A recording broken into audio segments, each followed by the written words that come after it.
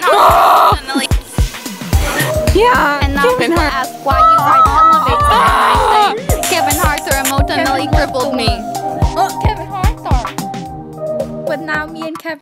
Kevin Hart. Ah!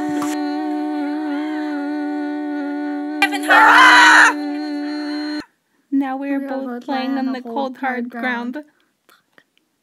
Peace and love. This song is dedicated to Kevin. Kevin Harder.